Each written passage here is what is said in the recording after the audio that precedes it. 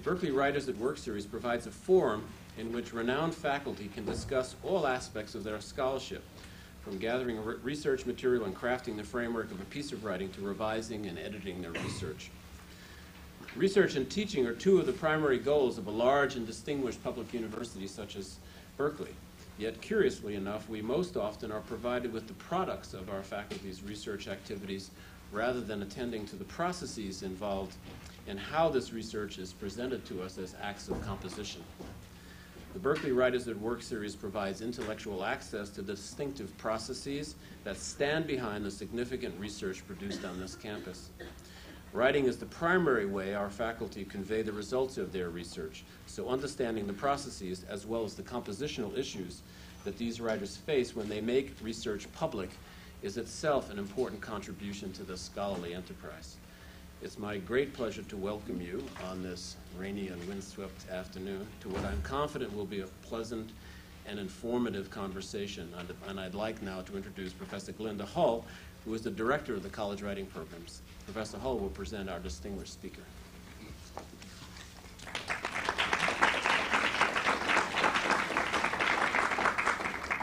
Hello and welcome. It's my pleasure to introduce to you the participants um, of the hour. First is Jane Jones, a lecturer and teacher of writing here at Berkeley. Uh, Jane, Jane has been a teacher here for, I think, about 13 years now. A writer herself, uh, she's published poetry, fiction, and essays, and she's at work on the great American novel, um, tentatively titled Fallout or perhaps uh, Oppenheimer's Ghost. Uh, Jane currently teaches in co- the college writing programs, and I'm happy to say that she's one of our program's most sought after instructors. Jane will be uh, interviewing our featured writer and professor today, Nancy Scheper-Hughes. Nancy is professor of anthropology here at Berkeley. She is one of our nation's foremost anthropologists.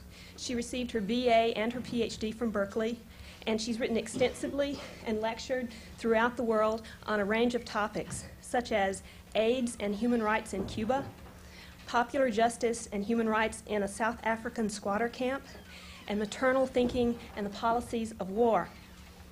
Among the places at which she has been invited to speak or teach are universities in Canada, South Africa, Brazil, Israel, Hong Kong, and France. She's conducted ethnographic fieldwork in Brazil, Ireland, Cuba, South Africa, and New Mexico. She writes on um, a range of subjects gender and reproduction, violence and everyday life, the practice of anthropology, and, and deviance, madness, and social control. And she writes a lot. She's published, I think, about 80 or 90 research articles, several books and edited volumes, some of which I think we have available here today from the ASUC for you to uh, peruse or purchase.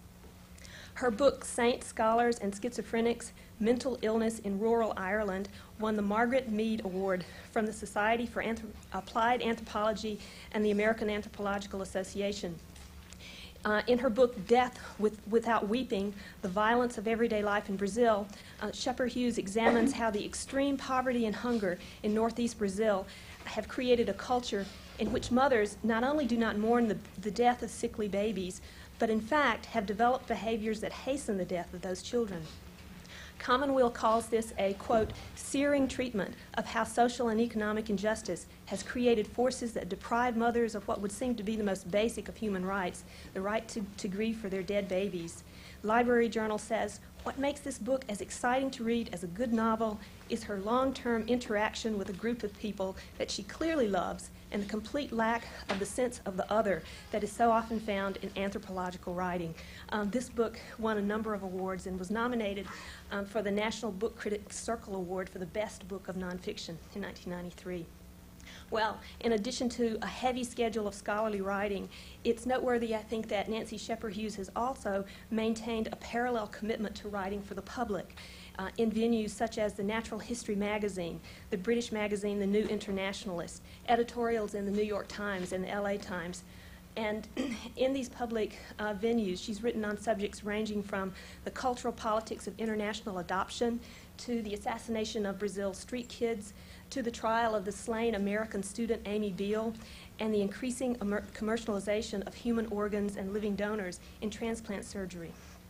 Well, in addition to her work as a professor and her research and her academic writing and her writing for wider audiences, she also has a history of public service. You can hear her speak on public radio and television about various social and political issues. She is an advocate for the mentally ill homeless in Berkeley and San Francisco.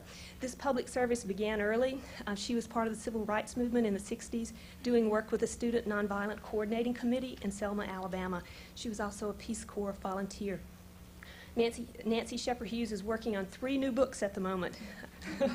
no surprise. One with the apt title that I admire, and I think that sums up something of her approach to her work. Here's the title Stepping into the Accident Notes of a Militant Anthropologist. Please welcome militant anthropologist, public intellectual, and great writer, Nancy Scheper-Hughes.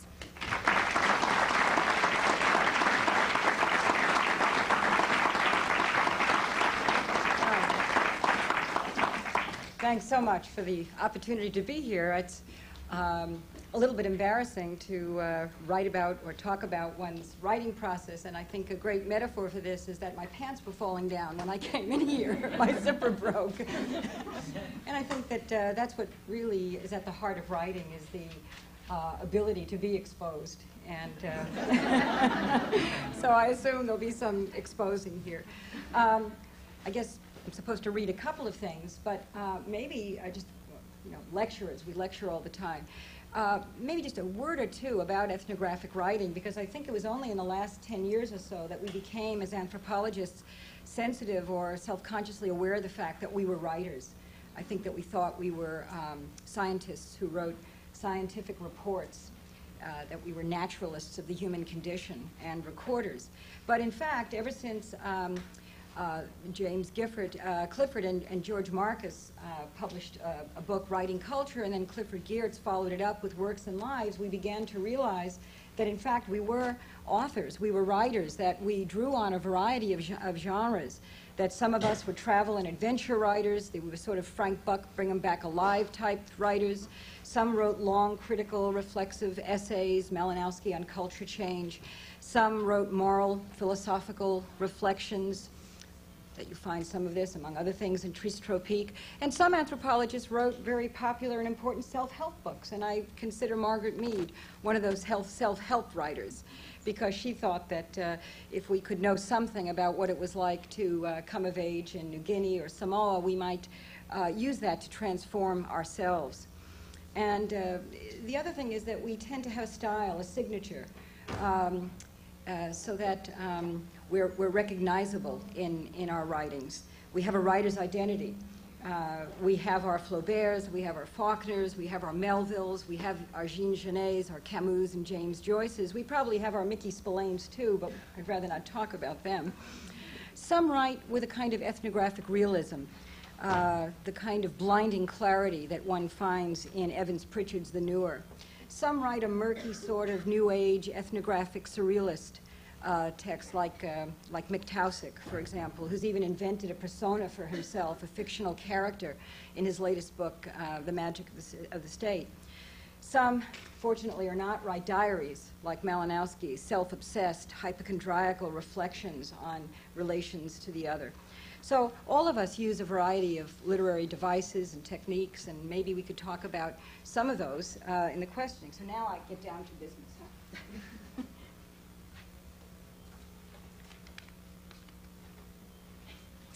I won't read from all of these, so don't worry. but I think that, you know, there's a few points uh, I could make perhaps by very briefly reading. You know, ethnography um, or ethnographic writing uh, is in part storytelling. And so at the heart of a lot of our writing is hopefully some good stories. And because uh, we bring people to places where they haven't been before, setting is terribly important. Um, so uh, here's a very brief uh, opening of chapter three from Saints, Scholars, and Schizophrenics, where I try to state the problem and give you a sense of the setting in which it takes place. On a, given, on a given census day in 1971, two out of every hundred males in Western Ireland were in a mental hospital. Nearly all of these hospitalized men were lifelong celibates, most between the ages of 35 and 50, and more than half were diagnosed as suffering from schizophrenia on a given research day in 1975 in the tiny parish of Ballybran in southwest Kerry, Almost 5% of the population of 461 people were receiving psychiatric care or medication as inpatients at the county mental hospital or outpatients at the psychiatric clinic in Dingle. Two thirds of these were men, and all but one was single. And on any given dark winter's night, when the rest of the parish has long been asleep, one can pass by the ancient stone cowhouse of Michael O'Brien and hear the old saint milking and talking to his cows, or merely stand in the night with them while reciting several decades of the rosary. But Misha, my God, what harm? Michael, the old recluse, is a saint, and he serves his cows the way he once served his mother, God rest her soul. Or taking the rocky Bohoreen path that separates the Finn pasture from the O'Neills, one might encounter Holy Marie, dressed in vibrant reds and greens, on her way to a Mass long since over. She'll stop you and hold you fast until she has been able to get it right, her loose, broken, diffuse genealogy, counting the names and numbers of people long since dead or gone away, and groping for her place among the shadows. Mairead asks you again, Has Jimmy Toohey come home yet? Then finally, as you turn up the winding mountain road to Ballybran, you might run into old Ned, who will startle at the still unfamiliar sound of a car motor and will stalk the machine as the proverbial angry bull stalks a red shirt. No, no, he will not let you pass the public road. Not today. Mental illness, both treated and untreated, is uncommonly common in the land of saints and scholars. Um, so, uh, the other point, I guess, I could make among several is that ethnography is also um, a kind of autobiography. Um, I can't remember whether it was Lévi-Strauss or Geertz who referred to it as knowledge of the self through the detour of the other. And I think throughout much of our writing, there uh, is a sense to um, relate our own lives uh, to the particular problems that we've chosen to um, study. So here's how I open Death Without Weeping. The prologue is called Sugar House. There was, however, improbably, oh, actually, there's a subtitle called Connections. There was, however, improbably, an artist living on our block on South 3rd Street in the Williamsburg section of Brooklyn. He inhabited a basement apartment, the kind below street level, with iron bars across the windows, so that when one looked out, all that could be seen were amputated legs and feet scurrying across pavement. How he painted in that dark, dank, cold water flat, I'll never know but it obviously required great powers of imagination. We didn't have a clue that the funny little man, Morris Kish was his name, was anything at all until he invited several neighbors to a showing in his flat. We children sat together in the front on straight back kitchen chairs, half expecting we would have to suppress giggles, then gales of laughter. For what could Morris Kish ever think to paint? Morris Kish could think to paint a great deal indeed, and I remember being lost in a swirl of colors and vivid impressions and impish magic as he showed us what we never thought to see in the rundown workaday world of Williamsburg, Brooklyn. There was the bridge, of course, but a bridge teeming with humanity crossing and recrossing, bundled in long coats and sweaters, each face revealing a different story. There was the Saints Peter and Paul's Church Carnival, but not the dowdy one with dull, paint-chipped carousel horses and abusive carnies that we knew, but rather the carnival when just before dawn and after the crowds had left, the horses came alive and danced and played cards. But what I remember most of all in those huge surprise canvases were the men of Berry Streets and South First and South Second rushing and converging together on the front uh, gates of the black monster that dominated our landscape, the Domino Sugar Refining Factory, which we knew only as the Sugar House. Those of us who grew up at the foot of the factory, adults and children, workers and not, all responded to the movements of the beast. We woke to its shrill whistles, its humming and clangings were a permanent backdrop to our conversations. We breathed its foul fumes, and finally we went to bed to the comforting sound of foghorns guiding ships and their precious cargo to its docks. This book takes me full circle from childhood to midlife, for it is, I think, no coincidence that my anthropology finally brought me home to northeast Brazil and to those verdant but cloying fields of sugarcane, to work with people who invariably describe themselves as having grown up at the foot of the cane.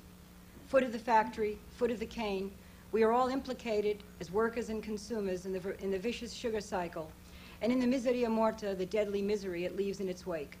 As a child of the Williamsburg, Eastern European, later Puerto Rican slum, I was marked by the image of the sugar house, and in writing about the cane cutters and their families of Bom Jesus da Mata, I'm also trying to reach out and touch the fading images of those sugar workers I knew as a child and whose faces I remember, but only as it turns out, in the vivid and impressionistic paintings of Morris Kish.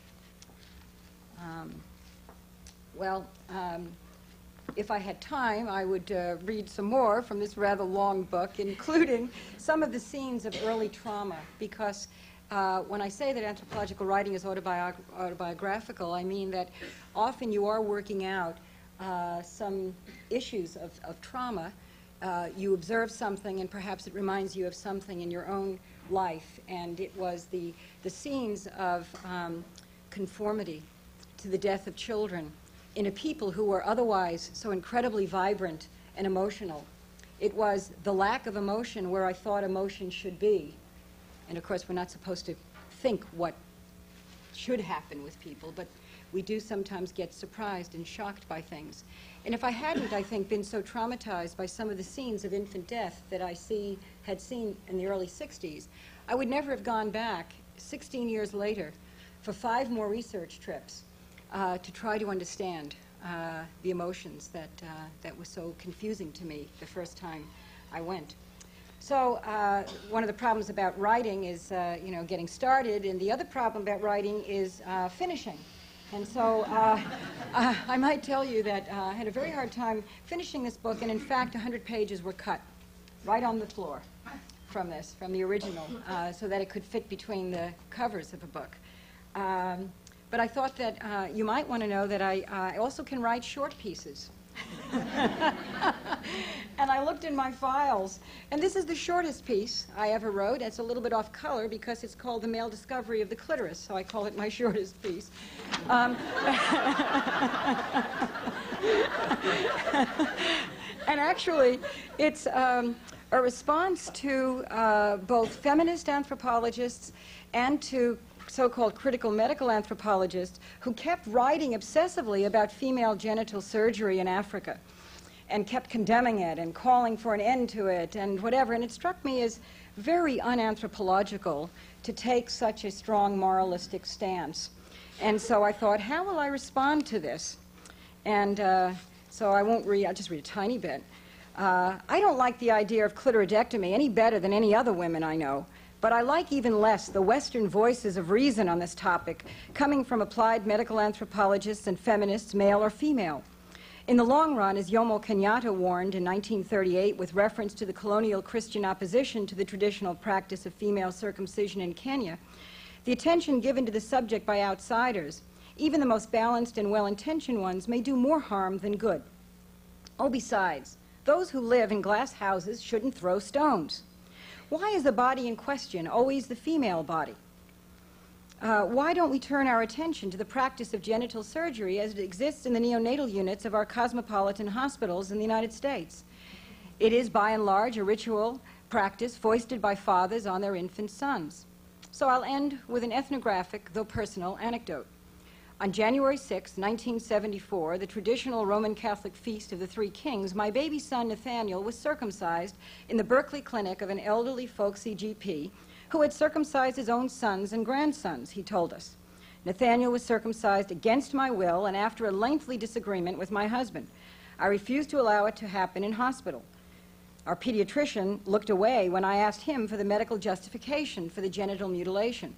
He said there was some evidence related to cervical cancers, but that he himself found the studies not so convincing, cancers in the wives of the men or partners of the men. Moreover, uh, he added, well, as a man of medicine, I really have nothing to say. Circumcision is a ritual practice, and it's a very personal decision.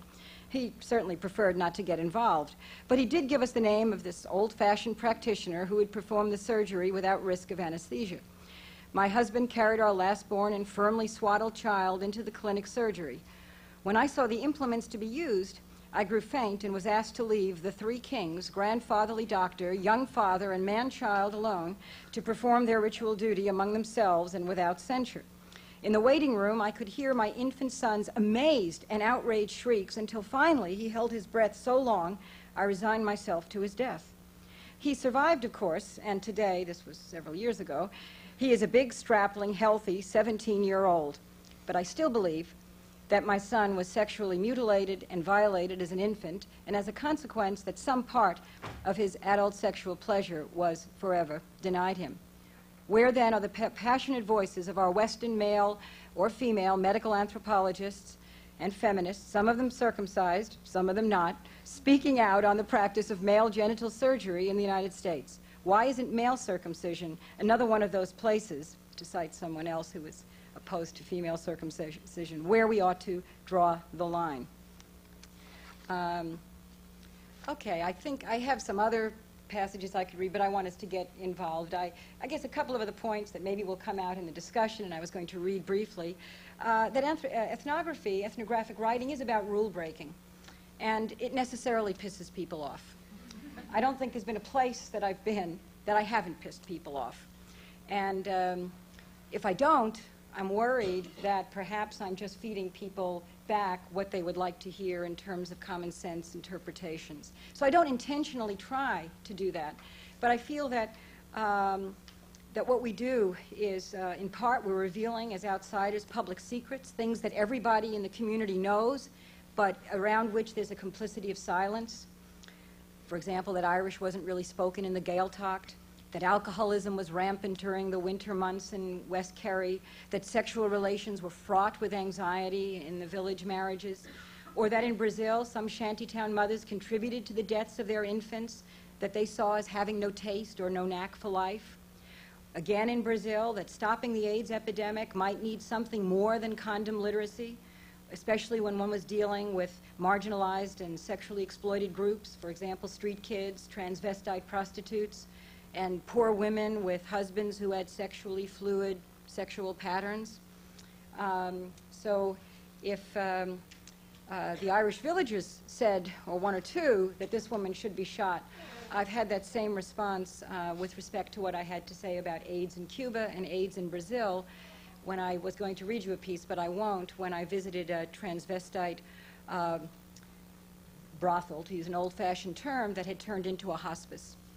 And uh, to re- really reflect on why there were so many transvestites um, who were suffering with AIDS, and uh, for reasons for which condom literacy was not really going to, to help them very much. But maybe, I'm sorry, maybe um, I will read one tiny piece because it'll put you in preparation for tonight. I hope some of you will come to hear Albie Sachs, the great South African warrior come uh, speak about violence and recovery in South Africa because we're not only there to piss people off. I think some of what anthropological and ethnographic writing is about is what I call praise singing. That is, in the traditional warrior, Xhosa, and Zulu tradition, to sing the praises of people as well. And so, uh, in an article um, on my, that's drawn from my new book, Who's the Killer, uh, it's the chapter called The Last White Christmas. But it's prefaced by uh, some notes from my, from my field notes. And it's about violence in South Africa and about people who survived violence in the anti apartheid struggle. You cannot avoid them, for they're present at every political event. Father Michael Lapsley with his startling metal hooks where his hands should be. There he is, mischievously lighting an attractive woman's cigarette. Oh, it's a magician's trick. Or over there, skillfully holding the stem of a wine glass raised in a defiant toast. Or he's right behind you, scratching with his hook on your upper arm to get your attention. Notice me, his hook hand seems to be saying, but playfully. And once the shock wears away, one wants to caress his gentle hook hand, to stroke the ruptured, permanently discolored skin where his right eye once was, and to toast him, noble ANC wounded warrior, with wine goblets held raised high, clinking glass with metal, and champagne with tears. And over there, with his back carelessly turned to the door, stands Albie Sachs, with his deeply lined face and his resonant, soothing voice. The agnostic's theologian, dressed in his priestly robes, his favorite bright and bold dashiki, waving his missing arm, his phantom limb. That ever present missing piece is Albie's most expressive body part, and he gestures and speaks forcefully with the waving empty sleeve, his sweet banner of liberty, of thee I sing, Albie. So I'll end there.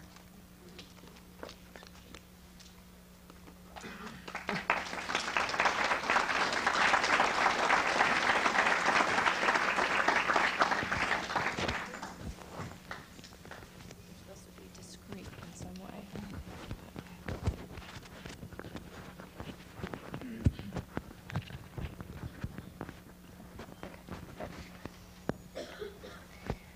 As you were talking about your writing before you got ready to read, you raised all kinds of questions, some that I had thought of before. And maybe you can just elaborate a little bit on one that has to do with um, the self in ethnography. And that is how you manage to, um, to maintain a sort of critical perspective, but also stay close to the people and the issues that are important to you and that you write about?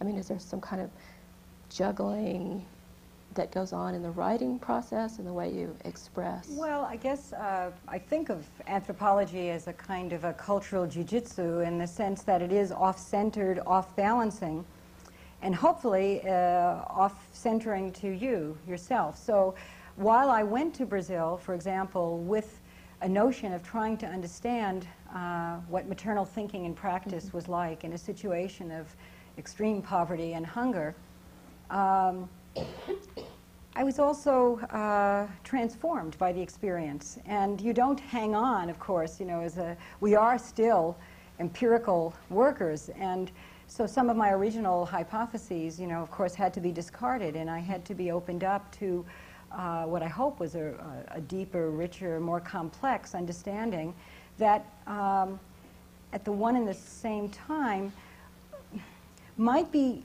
telling people something that they were not quite ready to say about themselves. So in that mm-hmm. sense, it's critical.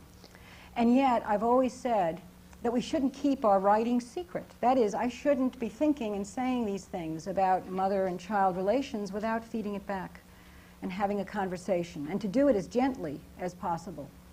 And so um, I was always part of a, uh, an association of moradores, of squatter settlement people who, over various points in time, over the 30 years now that I've been in contact, at times they were oriented to Paulo Freire type critical mm -hmm. consciousness, at times influenced by um, liberation theology.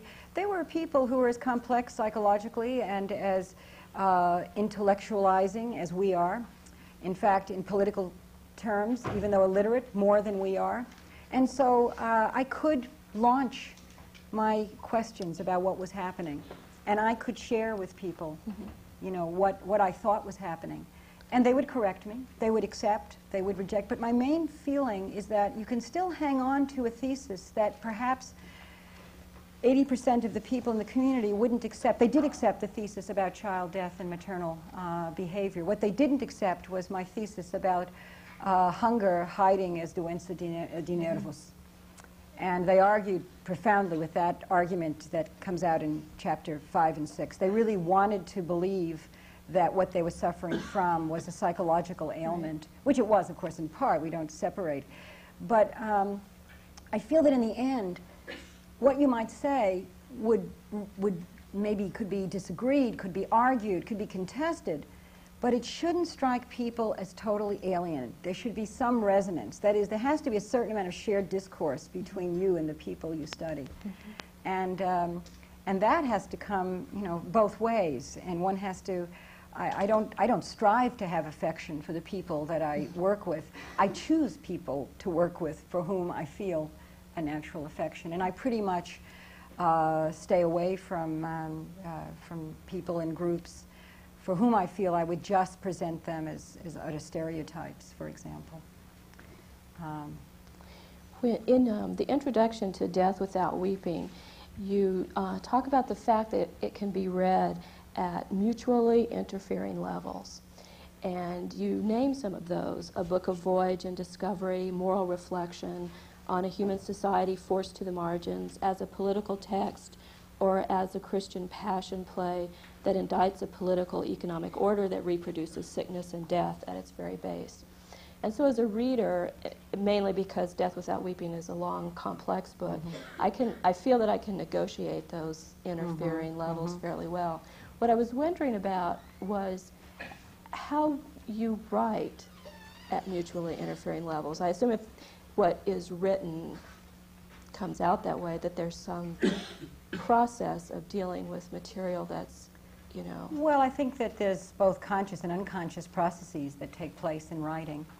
And, um, uh, you know, you might be writing a chapter that you think is a straightforward thesis about um, the political economy of hunger, and all of a sudden, certain theological preoccupations start coming up. And so rather than suppressing them, I tend to allow those to bubble up and to try to integrate them. I, I tend to be an extremely, um, I don't know, the term bricolage is overused a lot, but I, maybe a weaver. I tend to take whatever is at hand uh, and to try to weave it together, even if, um, you know, it, it makes a bit of a patchwork quilt of a book with these texts and subtexts and uh, asides, sometimes humorous asides. Um, some of the uh, interference also comes from the fact that I tend to write, although writing is obviously a solitary uh, task, you just have to be alone, uh, but I'm always writing to individuals. Uh, and uh, uh, I just, in fact, if I can find it, um, I generally have photos in front of me when I write. And so, depending on, and maybe this is the vestige of my Catholic education, they're like little relics. and um, so, for example, let me see. Um, in the rain, if it hasn't destroyed me. Uh, my favorite informant, Biu, who's taken out her, her false teeth, the playful side of Biu, you know, trying to amuse her sometimes. Or, um, you know, some of my favorite street kids will be out there. Or, um, uh, picture of the local priest, and I'll be then arguing with uh, aspects of Catholicism. And uh, among the people I've pissed off was uh, the Archbishop of New York with an article that I wrote in uh, Natural History magazine that um, involved even liberation theology in the high rates of infant mortality, because although liberation theology uh, transformed people at so many levels, it just couldn't deal with the body, with sexuality, with homosexuality, with abortion, with all of those embodied issues. And because liberation theology couldn't deal with it, I felt that women, Catholic women that I worked with for the most part, were really caught in a terrible, terrible double bind. That is, on the one hand, they gave birth because they sort of felt, at least in part, some of the older women, that it was their duty to give birth, there was a duty to reproduce, but they didn't feel that there was a duty to raise all of these babies because some of these were just given birth to give to Mary or to Jesus or to give to whatever the saints were. And so, therefore, they could feel slightly happy about the fact that a child named after a particular saint was going to Maria do Carmo, for example. Liberation theology comes along and starts telling people, but Jesus doesn't want all these babies, doesn't want these babies to die. He's not a some baroque god or cannibal god that wants to eat your children. He wants them all to live. And the women are kind of confused because they can't have, you know, the traditional comfort that Catholicism gave, and at the same time, they don't really have the wherewithal to be able to control the births. And so I said that it was in this horrible uh, contradiction that so much misery was born, and I felt that the church was, at least in part, big surprise, you know, responsible for it.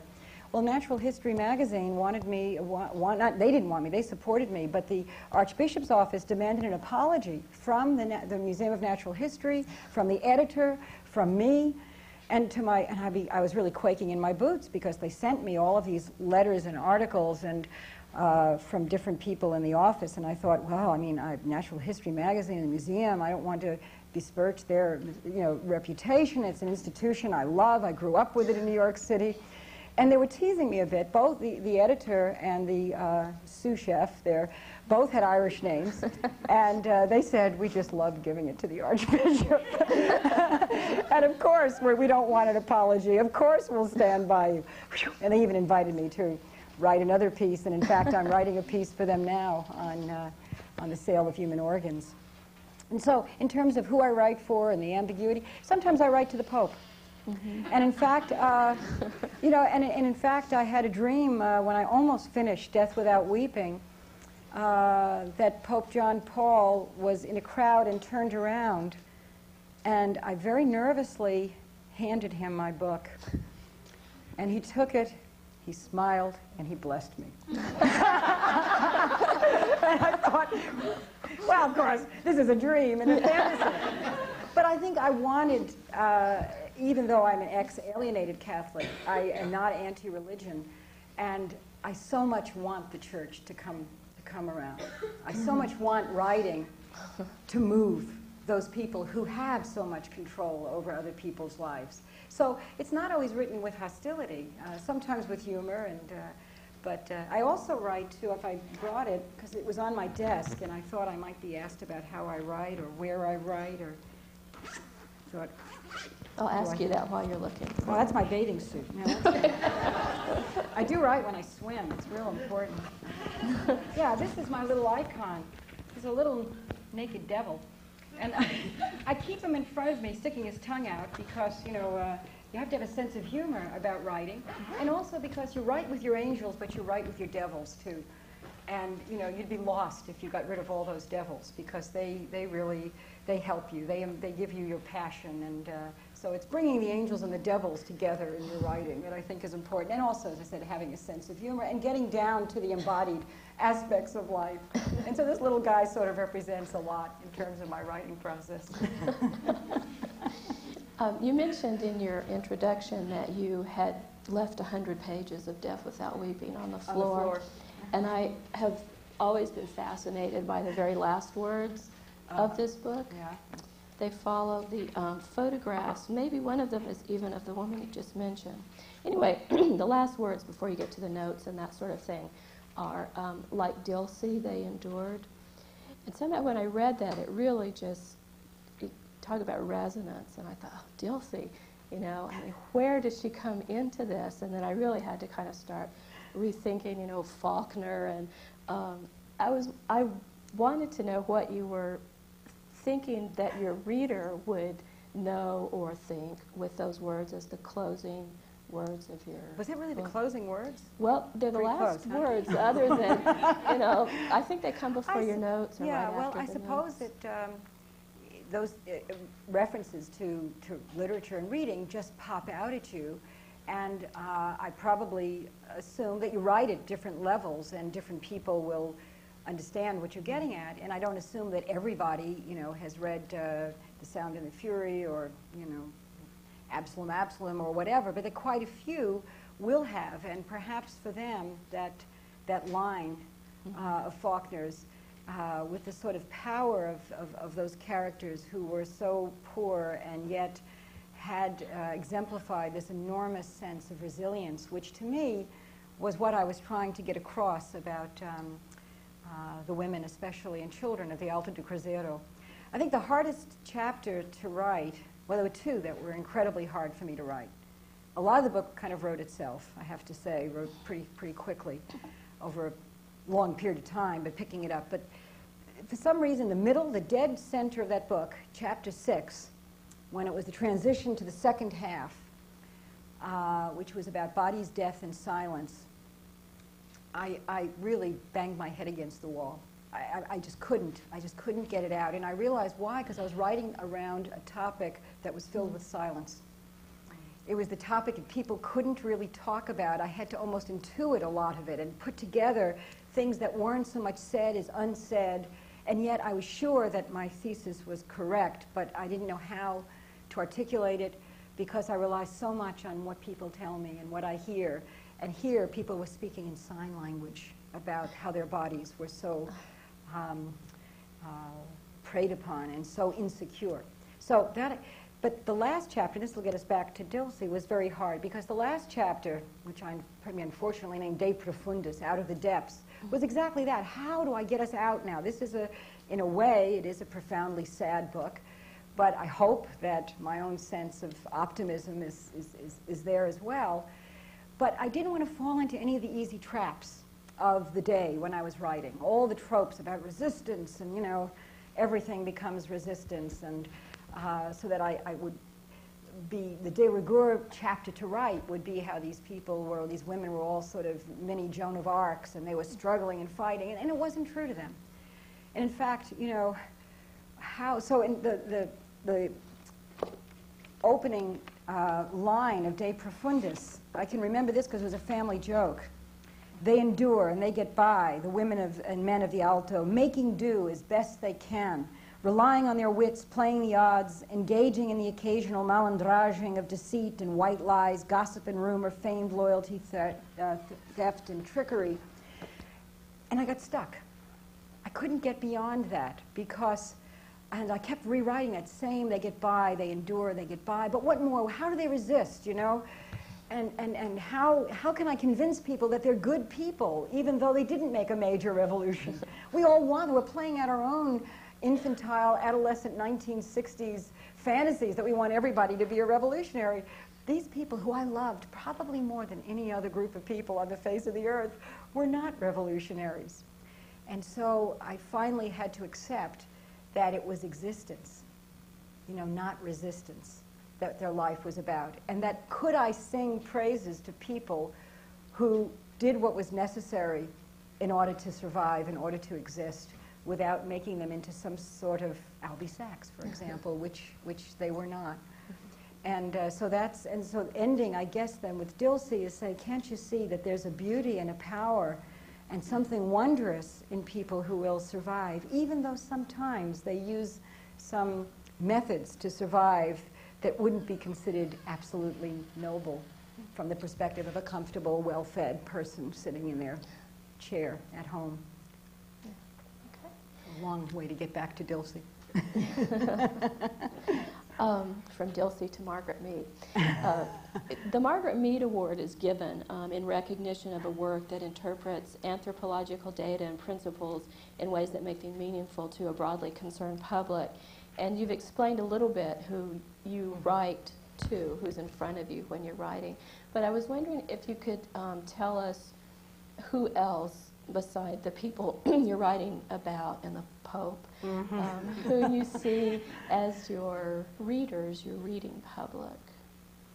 Well, uh, there's that uh, trope that's the, the, the New Yorker uh, reader who's this sort of um, you know, a woman that uh, is, uh, probably lives on the Upper West Side of New York and is probably a good liberal progressive who buys books and is engaged. And um, I mean, that's one population I sort of aim for, the reading general public, people who are in, engaged with ideas, who you would maybe meet at Black Oak Bookstore sitting there, you know, uh, who, who care about literature and writing. But uh, I have some other conceits, I guess. I, I, I like to uh, feel that I, that I reach out even broader than that. And some of my the moments when I felt most um, happy, I think, as a writer is when I'll get a letter from, for example, a couple of years ago, um, a letter from a bachelor farmer who said it took him over 10 years to screw up the courage to write to me about saint scholars and schizophrenics because it was so painful what he saw and yet he wanted me to know that while at first he was so angry at what i had to say that in the end he felt that it was okay for him to be the way he was. It wasn't his fault. So I think my book allowed him to see a little bit of what used to be called the sociological imagination, that it's not just you alone in isolation that has this particular problem because there's something wrong with your head, you're cuckoo or whatever. There's a social context, there's a historical context. There are um, social forces that uh, don't determine you, but that shape what you can know and what you can feel and what you can experience. And uh, the fact that this man who, you know, had the grass of several cows and lived alone in the middle of um, Ireland would somehow, you know, feel that there was something in the book for him, that pleased me. And of course, uh, those are also the population that I'd like to reach. I know that Hortense Powdermaker, who is my mentor, was a very accessible anthropological writer trained under Malinowski in England, and uh, did one of the first anthropological studies in the United States after doing very traditional work in Lesu. And then she went to the South and studied um, the race caste system there in the 1930s. And then went to Hollywood and did a study of Hollywood and making of movies before she went to um, uh, Southern Africa to study the effect of um, media on labor unions, of all things, and work. But um, she once told me that and I understood this completely, that the most pleased that she had ever been was when um, a hairdresser who she didn't know, when she walked in to get her hair cut somewhere in Manhattan, recognized the name Powdermaker and said, are you the one that wrote that book on? And I can't remember which book it was. And Hortense was just so pleased that this hairdresser, you know, had somehow read her work. So I think that um, you know, if one is a writer, you want to communicate with as broadly uh, as possible. Although sometimes we get into our arcane arguments with one particular group of anthropologists or specialists in a field, or I'm arguing with psychiatrists about the diagnosis of schizophrenia, or sometimes, um, you know, arguing with medical doctors about um, psychosomatic ills and their meaning and so forth. So sometimes you are thinking of very specific audiences, but there's part of us, I think, that wants to have as many people read it and respond as possible. When there was such a uproar about saint scholars and schizophrenics, you um, offered to not accept the Margaret Mead Award, and you asked a village elder if it was okay if you did um, accept it, and he said yes, it was okay. What would it have meant to you professionally and personally not to have accepted that award? Well, actually, uh, let me make it a even a little more firm. I think that um, not only was I worried uh, about, because I think it was only the second time the award had been given. And again, it was like that feeling of not wanting to cast any you know, shadows on this award, which was meant to honor an anthropologist who I respected very, very much. There was actually a discussion at the meeting. Uh, the award was given at the Society for Applied Anthropological meetings, which was held that year for some reason in Scotland. And that's why they paid my way to get the award. I went to Ireland, and it was there that I really found out, you know, how upset people were and um, how the New York, uh, not the New York Times, the Irish Times had published several articles about it. I still have them. Geared for a gale. The Yank in the corner, that's me. You know? Watch out for anthropologists. They'll grab the secrets of your soul. And not with the camera, with their ears, you know. And um, so, I, uh, but at the village, one of the leaders in the village, uh, the schoolmaster, said, no, no, go ahead. He said, you know, take it, but explain what you learned from coming back here. And, uh, you know, he said, you know, you, are a writer. And he said, I, I, hope he's right still. He said, you've got a few more books in you yet. but I want you to learn from us about this experience. You know, be careful about what you say about other people, about the secrets that you tell. Even though I claim, you know, in my response, the reply to Ballybran, which I published in the Irish Times, Ballybran was of course, the pseudonym, um, I, I, explained, and maybe it was a weak defense, that I was dealing with public secrets and that many things were given to me in confidence, which of course I would never have personal secrets about people because you do get very close to people. That would not be part of the book. But if I was going to write about the fact that, well, in fact, tell you the truth, Irish really wasn't spoken in the community, um, even though that was a painful truth to a community that saw itself as, as Gaeltacht, as Irish speaking, I sort of felt that as a sociologist, anthropologist, I had to write about that. Uh, but when I went to Scotland to get the award, Peter Kong-Ming New, the late Peter Kong-Ming New, who's again an anthropologist I absolutely revered, was in a real dither. He didn't know whether he should give the award because by now the controversy had become, you know, pretty public.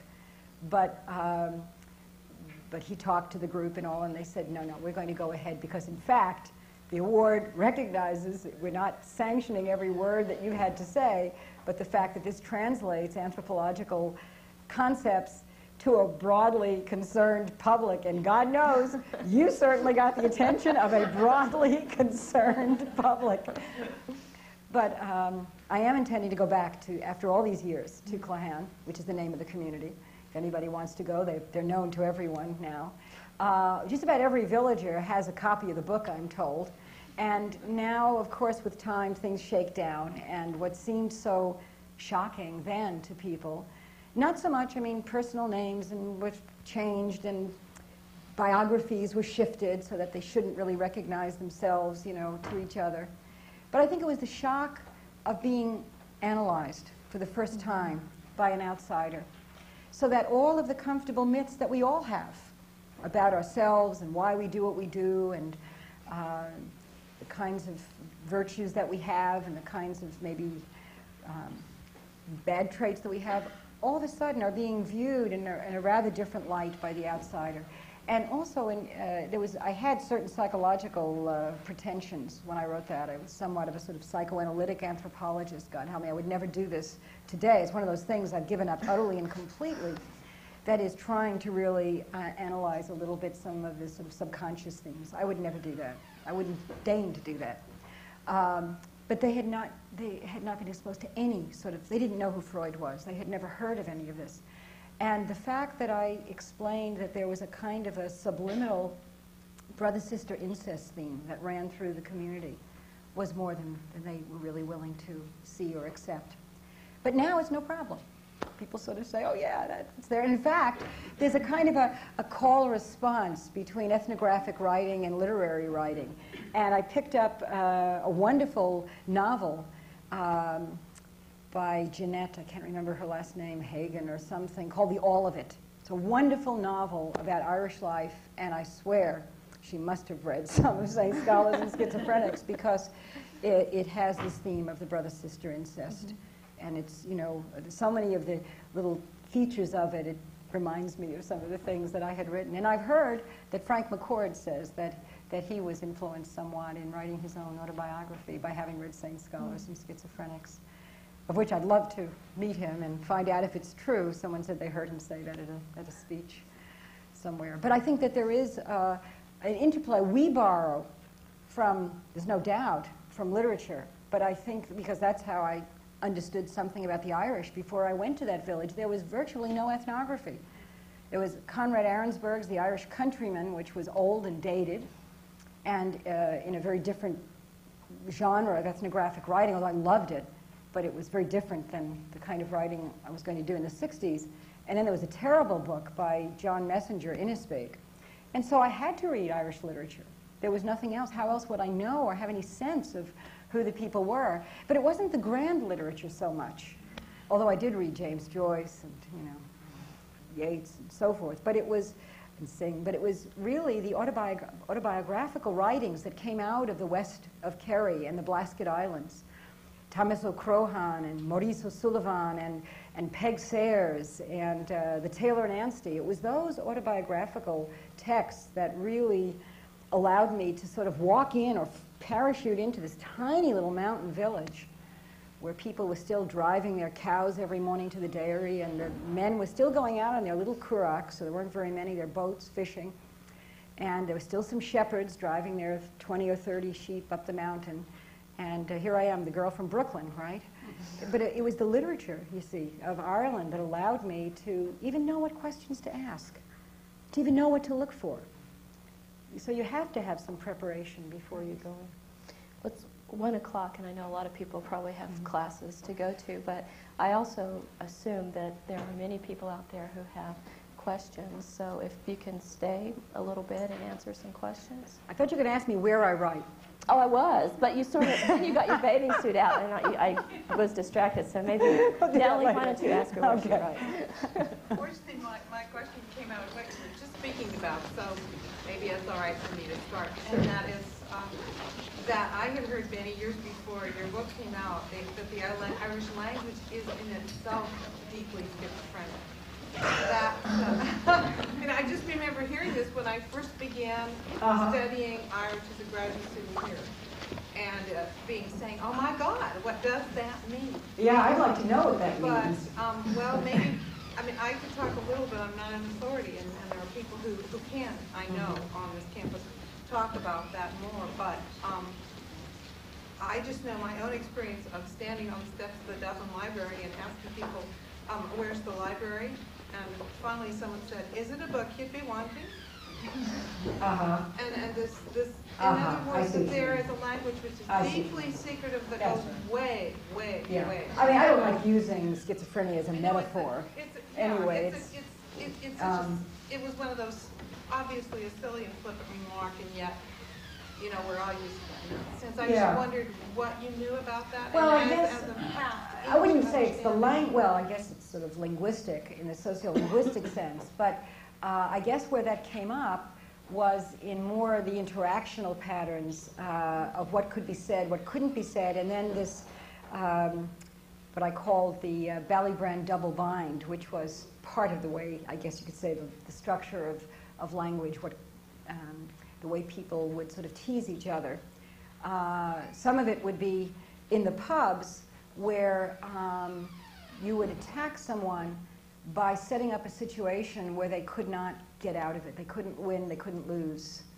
You, you know, you sort of, um, and, I'm thinking of uh, the two brothers, Seamus and Podrick, who used to, old bachelors, in the 50s, used to go to the pub all the time. And the games, the interactional games that were played on Podrick, who was, I think, the younger of the two, who was extremely shy of women.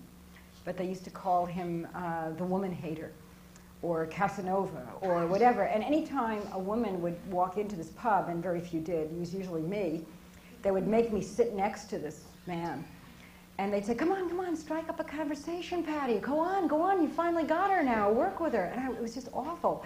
And so he would start stuttering and stammering, and then at one point, uh, you know, he actually put his head in his lapel, and everybody laughing, just having a crack, you know, giving the Mickey, or whatever the term was until finally Podrick would just run out of the pub.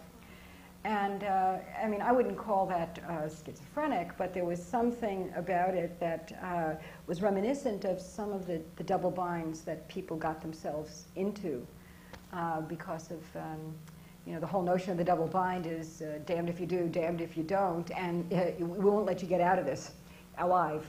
You've got to stay here and somehow fight it out. And there was, um, there were also you know, patterns about um, appropriate ways of speaking and being very quick with language. So I always felt that a person who maybe had, uh, you know, some linguistic problems, maybe being not schizophrenic, but not exactly as witty as would, would be expectable or expected, would be readily labeled in this kind of a society because the repartee of language was so important and so rich. And so I think that some of the, the older bachelors who were shy suffered from that. There's a question over I'm sorry. Nancy, I was hoping that you talk a little bit more about the process of your writing, how you go back and forth, let's say from your field notes, Uh, how you edit, whether you use an editor, so more the details. Oh, okay, the details of writing, okay. Uh, I do a lot of my writing in the field, actually.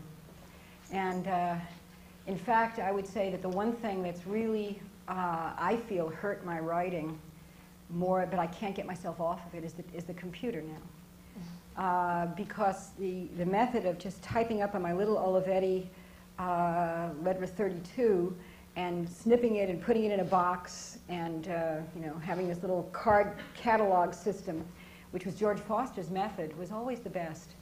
And I kind of get lost in these, you know, writing. I mean, I'm not, I'm not very, I'm a technophobe, and so I only do word processing. And uh, I find it a lot harder to retrieve my, my notes. Uh, both you write too much and you write too randomly. It's not as painful as writing with this damn typewriter where letters get stuck. Also, I'm a two-finger typist.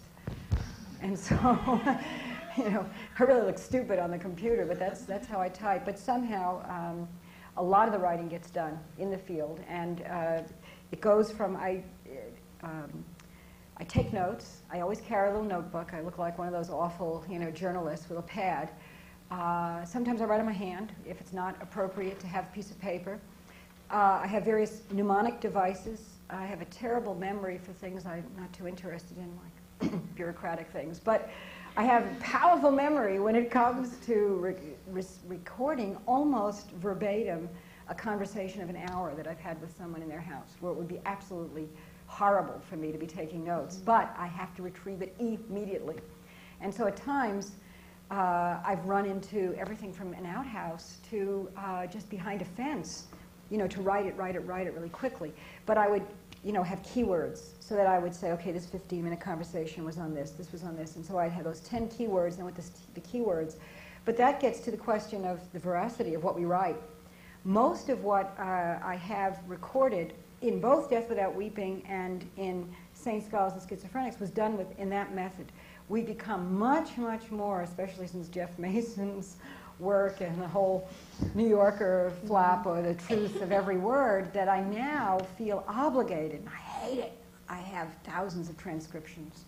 So that, you know, not to back up my authority, but just that, well, maybe that's the way we have to do it. Maybe it's the best way. And so, in, and, and also in South Africa, where I'm working now, I'm, I'm recording people speaking Xhosa and Zulu and Afrikaans and whatever. And some of the, some of the translation process I have to do later. I can't, you know, I don't, I don't deal with those languages. So, but anyway, writing in the field is very, very important. And in terms of editing and um, I like good editorial suggestions, and, and in fact, that's why I love writing for the. Uh, there's, a, there's an editor, I don't know if she'd like me to mention her name, Maura Crow at the Natural History. She's extremely interactive with my work, and so, so are the editors at, at New Internationalist. And, uh, and I take their suggestions and I like it. Now, with my books, that was sort of a different question. Copy editing, but I don't like much more than that. I don't know why. Somehow with the books it was different. But when it came to the process of having to cut Death Without Weeping, the press hired an outside editor to cut. And they assured me it was someone who had a great sensitivity for writing and whatever. A person may be in the audience. In fact, I'm sure he's a wonderful writer. But I was so outraged by what was going to be cut from the book, like the whole chapter on, on Carnival, which was essential to my thesis, that I, I sat down and I cut word by word myself. Because I said, that's the way you're going to cut.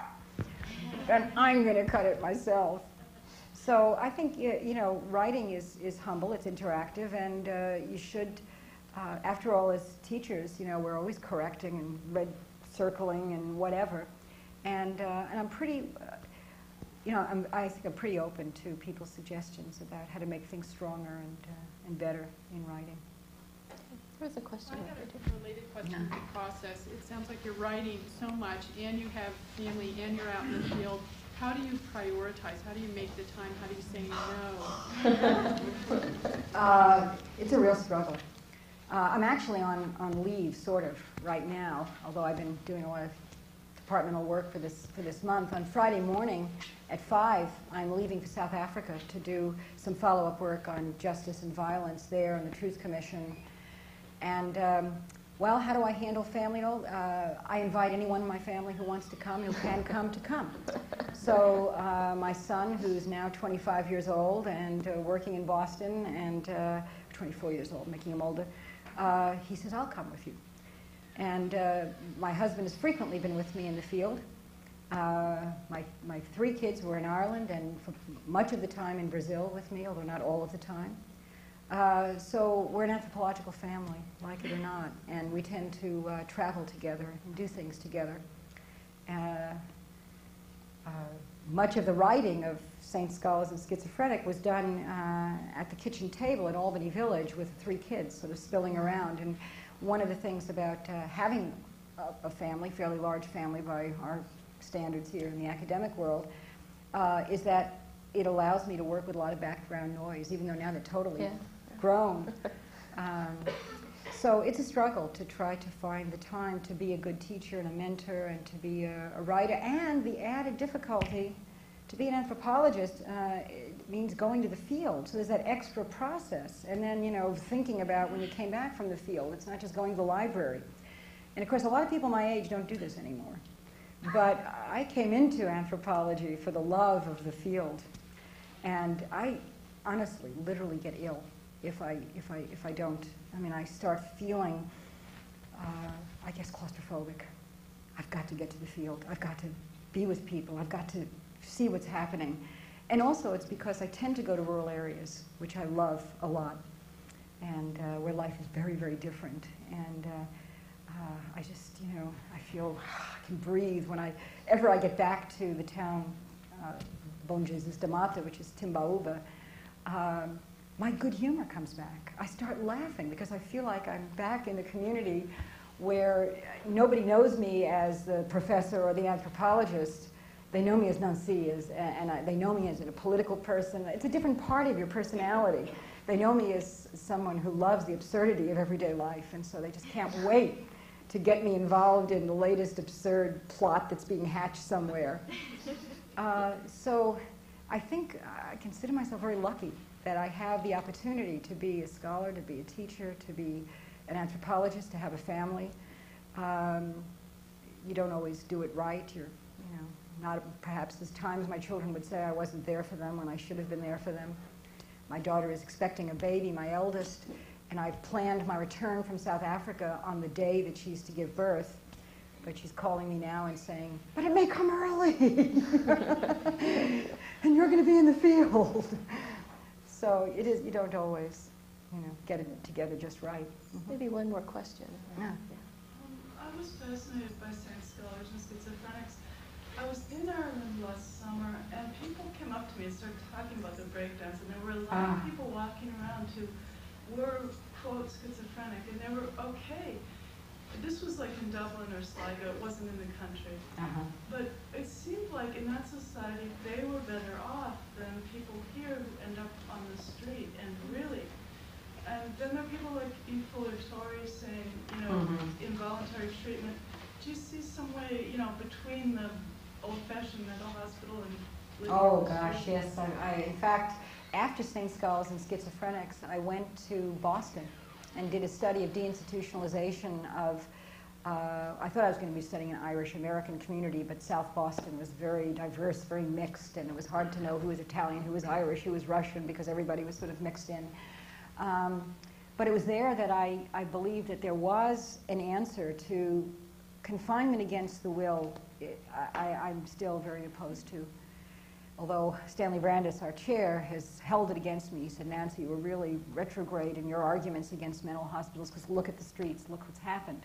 And I said, but that wasn't, that wasn't what any of us who were arguing against mental hospitals had in mind. We really believed in the community mental health movement, for example. We really believed there would be alternative structures that weren't going to be um, you know, board and care homes that were really sort of run by penny capitalists trying to eke every penny out of people's welfare checks. I mean, we really thought that there could be something more like the way in more homogeneous, smaller rural communities where the mad circulate, as Foucault would say, more freely in society, and yet people feel an obligation to take care of the person uh, when they can't find food or a place to sleep or whatever.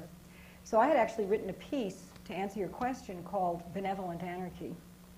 And the title, you know, I think put a lot of people off. But it was to say that for specifically thinking about what so-called schizophrenic people, you know, need, they don't always want a lot of interaction with other people. There is a kind of distancing, a kind of uncanny fear of being overwhelmed by people and by ideas and by thoughts. And I think because I don't want to get into the clinical aspects, but certain things are racing for some people and other things are slowed down. So interactions are really hard. But that I never knew or worked with a person labeled as schizophrenic who didn't really want some sort of human contact at some, at some time.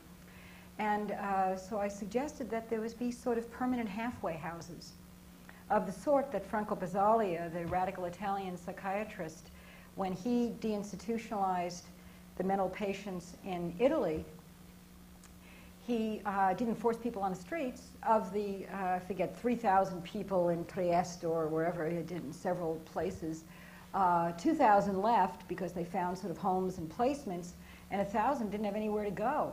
And so he said, okay, once a mental patient, now a guest. Once a mental patient, now a guest. And so you could stay here, but you have your civil rights. Come and go, do what you please. We'll provide meals, we'll provide laundry services. Now that made sense because there were some people who really couldn't and were frightened. They'd been living in institution for a very long time, or they really didn't have the minimal skills that they needed. And for them, the, the hospital was all they knew. And so, well, but the hospital itself doesn't have to be a prison. You can have a kind of, you know, we talked about halfway hospitals and things, but we never did it. And, um, you know, I thought that, um, you know, with a lot of input from those patients who were ex-patients who were in a better situation to kind of help. And I also thought of an old-fashioned buddy system. You know, the idea that uh, I found, and I'll sort of end here, uh, in South Boston, when I was looking with a, with a cohort of about um, 50 some odd middle-aged to elderly mental patients who were the last ones let out of Boston State Hospital, many of them had found you know, friends in the community.